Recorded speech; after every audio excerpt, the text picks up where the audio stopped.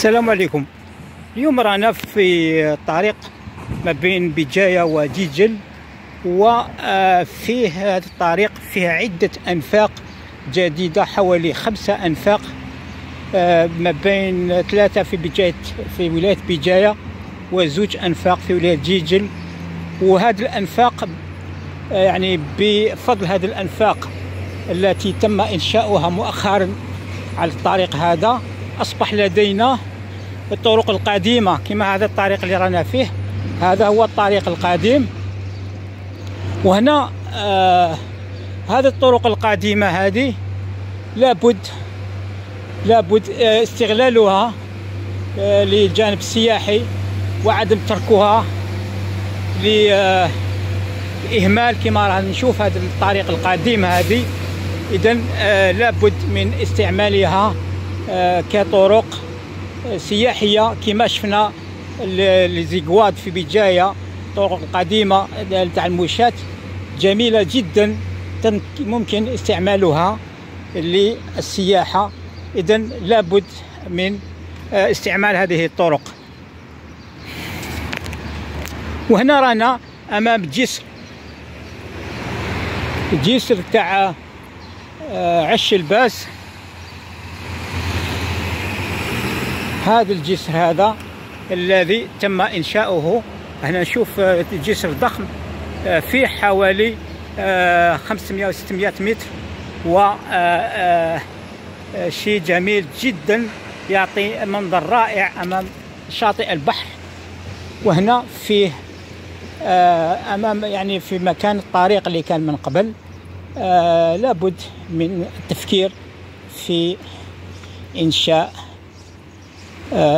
ممرات أو مسارات سياحية. هنا نلاحظ الجسر هذا العملاق من آه، إنشاء جاركه شركة زابطة الجزائريه لاحظ المنشأة الفنية الرائعة هذه على شاطئ البحر. وهنا نشوف السيارات والمركبات. تستعمل هذا الجسر.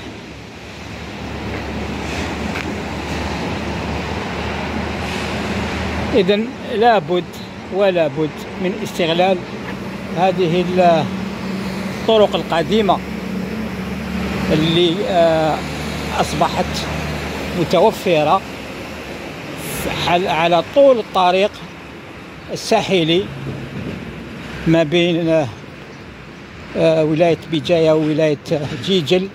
إذا لابد من استغلال هذه الطرق القديمة في غرض سياحي وكذلك تهيئة الحواف تاع الطرقات.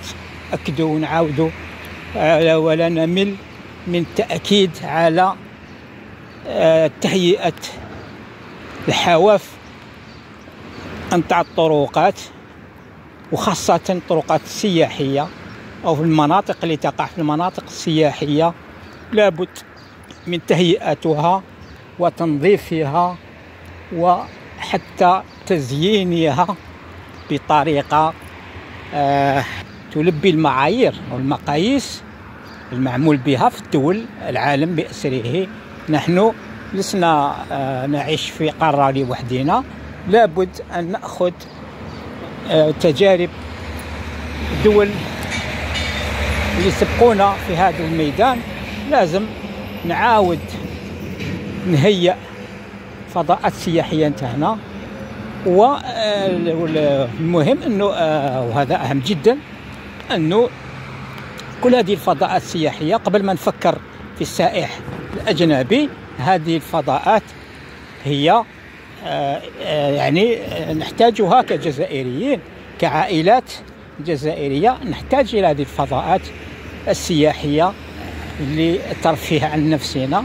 ف يعني السياحة هذه قبل ما نفكر في السياحة الخارجية أو الأجنبية لابد أن نطور السياحه الداخليه ونخدم العائلة الجزائرية قبل كل شيء.